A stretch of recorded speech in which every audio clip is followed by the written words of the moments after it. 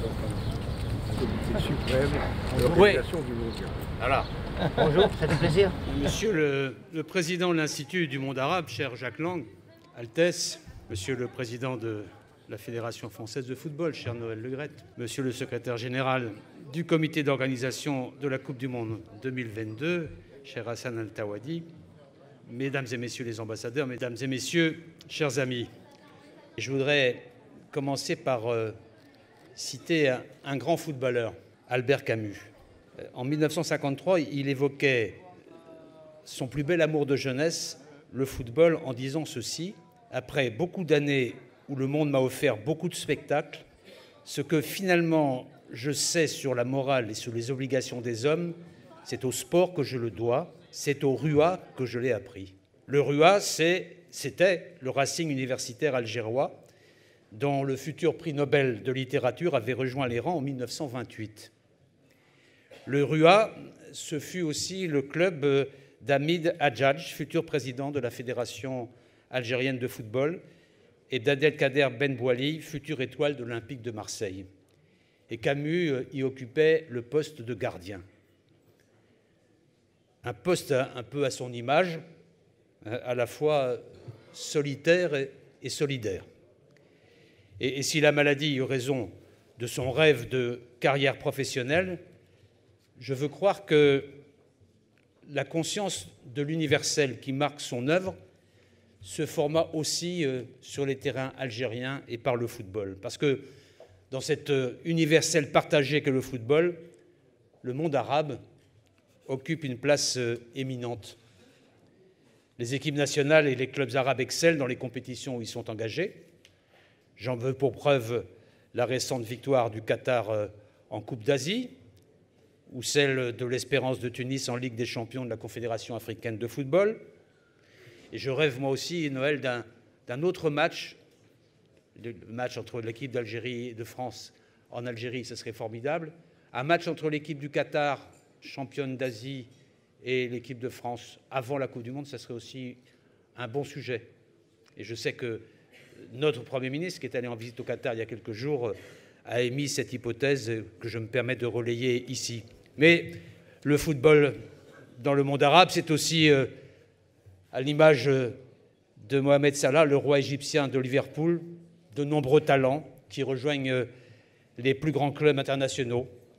Les Émirats arabes unis viennent d'accueillir la Coupe d'Asie, l'Égypte s'apprête à donner le coup d'envoi de la Coupe d'Afrique, le Qatar prépare la Coupe du Monde 2022, les sponsors, les médias, les investisseurs arabes sont devenus des acteurs euh, majeurs de ce sport. Et donc, mon cher Jack, euh, du coup, le football avait toute sa place à l'Institut du monde arabe et l'exposition qui s'ouvre aujourd'hui met en lumière tous ceux qui, de l'Atlantique au Golfe, vibrent pour le ballon rond, pour les joies qu'il procure, pour les surprises euh, qu'il permet. Professionnels, amateurs ou, simples supporters, ils sont depuis plus d'un siècle les acteurs d'une histoire euh, singulière, qui est d'abord euh, une histoire ancienne, cette histoire du football dans le monde arabe. Une histoire ancienne qui commence en Égypte, où se crée le premier club, Al-Ali, en 1907, ça a été rappelé tout à l'heure, et qui joue plus tard son premier derby au Caire contre Zamalek. On en a vu des photos dans l'exposition. Mais les autres pays ne sont pas en reste. Quatre ans avant l'indépendance, a été rappelé avec beaucoup d'émotion il y a un instant, l'Algérie avait déjà une équipe nationale, celle du FLN, formée en 1958, et je me permets de saluer à mon tour euh, les, joueurs qui faisaient partie de cette équipe. Il manque Melkoufi. Moi, je me souviens de Melkoufi qui a charmé euh, ma jeunesse, et je me souviens du nu- numéro 7, je crois, de Saint-Étienne, qui euh, était aussi lui-même une grande image.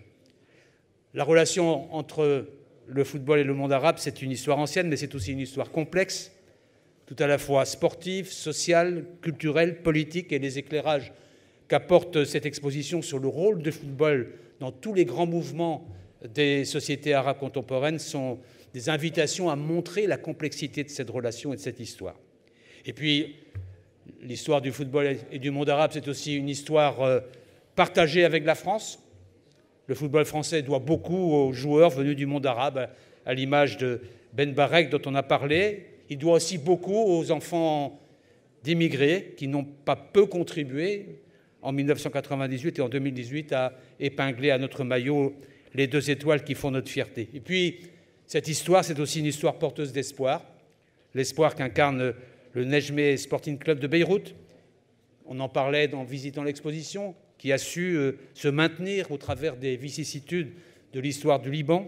C'est aussi une histoire d'espoir parce que le développement du football féminin dans le monde arabe, illustré par euh, les exemples évoqués euh, tout à l'heure, Bahreïn, la Palestine, la Jordanie, ces initiatives prises qui montrent aussi une contribution du football au combat des femmes arabes pour l'égalité, ça se joue aussi dans les stades. Alors je tiens à saluer l'équipe qui a permis la réalisation de cette exposition, à féliciter la commissaire Aurélie Clémenté-Ruiz et à remercier tous les mécènes et partenaires, en particulier la Fédération française de football et son président Noël Legrette. 2019 sera un grand cru footballistique, à la fois en France et dans le monde arabe, car cet été, nous accueillerons la Coupe du Monde féminine et la Coupe d'Afrique des Nations se jouera en Égypte.